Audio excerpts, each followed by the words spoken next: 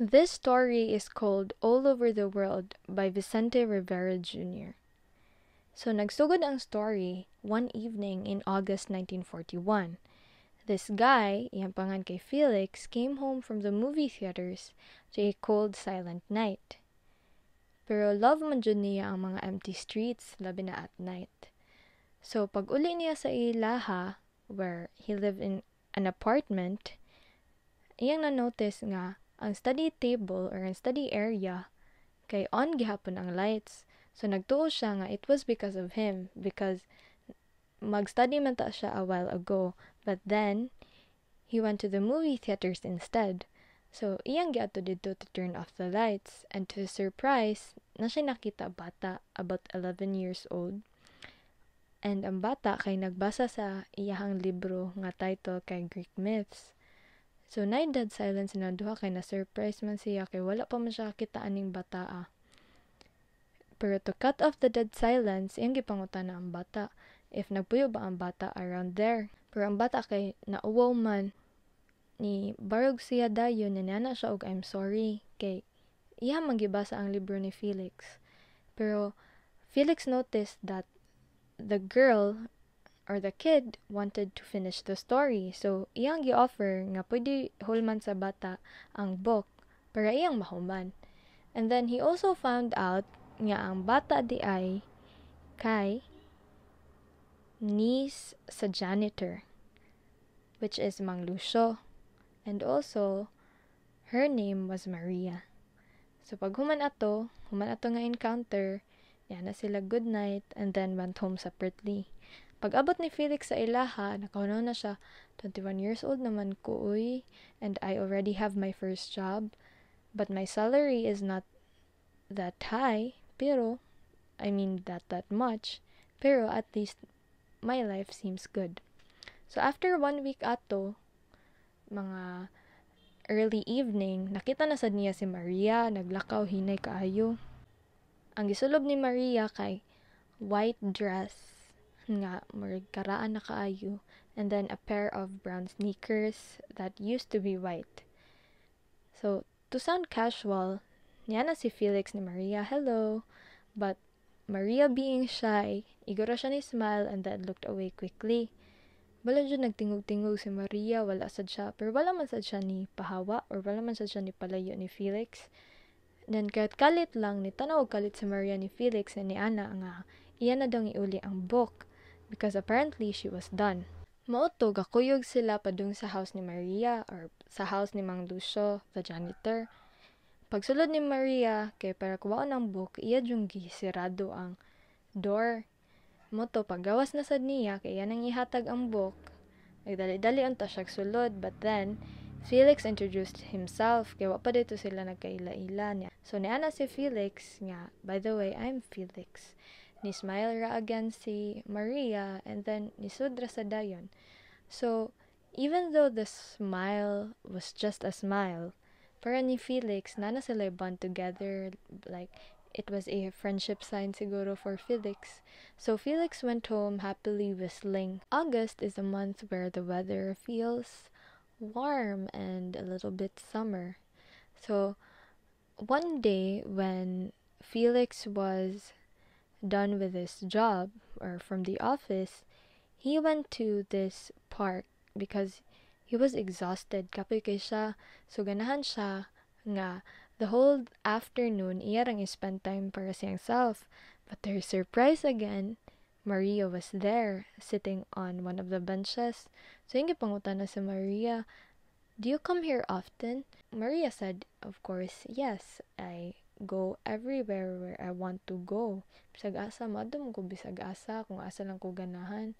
Nya, nahibong si Felix kay dili day siya kasabaan ni Mang Lucio. Mutanang-utan na siya kung kasabaan ba siya.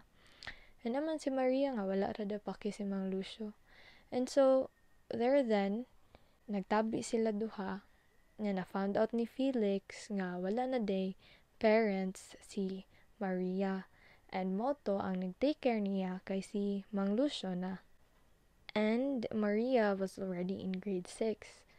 Apparently, bisag nagtabi sila, Maria was a bit silent niya. gagmay ra kayo hiyang replies ni Felix. So niana ra si Felix nga I know you like reading. Pag human ingon ni Felix ato, wala na, silence na. Nya, naglingkod ra sila dito, nagpahangin, nya, nag-unwind siguro. And then September came, which is the monsoon season. Feel ni Felix, nanajud sila friendship ni Maria. Bahalag, they talk infrequently. At least, if magkita sila daw, kay magkatabig hapon sila niya na sila friendship, though there were silences, at least na sila friendship. And then, November came. Nibalik na sad ang warm season. After that, November was finished, and then December came. Yeah, niuli siya sa ilaha, sa province, mga three days. And then, pagbalik niya dito sa apartment, everything seemed different. Kay apparently, the world war has started. Pagsud niya sa iyang room, nahibong siya na si Maria dito, naghilak. Naniana si Maria she was afraid. She was afraid of the dark. And so Felix said, Aren't you afraid of the dark when you sleep because you turn off the lights? And Maria replied, This darkness is different this darkness is all over the world. Imagine, bata ka niya maka-experience ka og World War. It would be very sad. After ato, wala na jud sila nagkatabi as in wala na kay nag-training na si Felix for the war and then the war started. Ubang tao kay nangita nag-evacuation ng centers and also ni-move na sila to other houses kay dili safe sa Intramuros.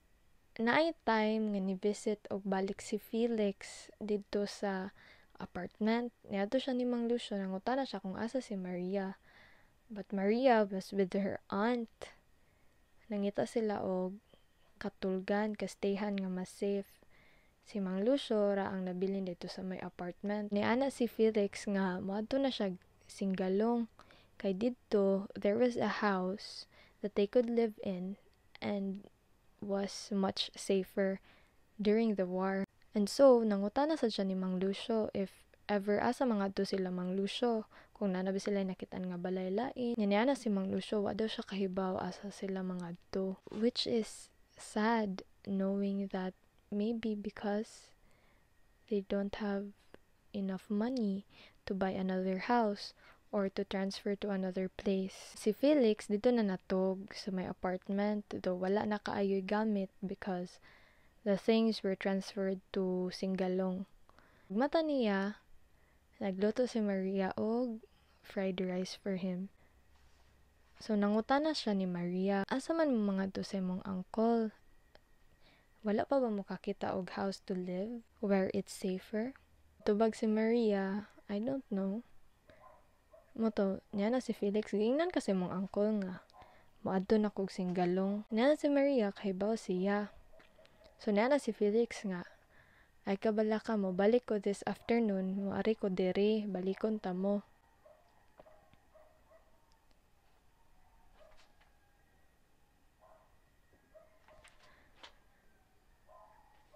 Moto, nilakaw siya, and then, niuli siya sa singgalong, dito siya ni Kaon, Then, ihang gitanaw ihang things, if okay na ba.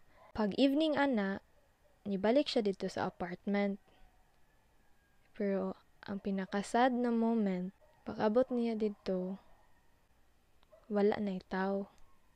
Niya pagpangita niya, ni Mang Lucio, ug ni Maria, ni Ana ang mga volunteers, volunteers for the war, nga nagbantay dito dapita, nga there wasn't anybody living there anymore. And that's the end of the story. For me, for me, reading this story, ang lesson jud ani is that muragug karong pandemic nga we have to treasure our friendships kay we don't know what is going to happen in the next days. And that would be all. Thank you.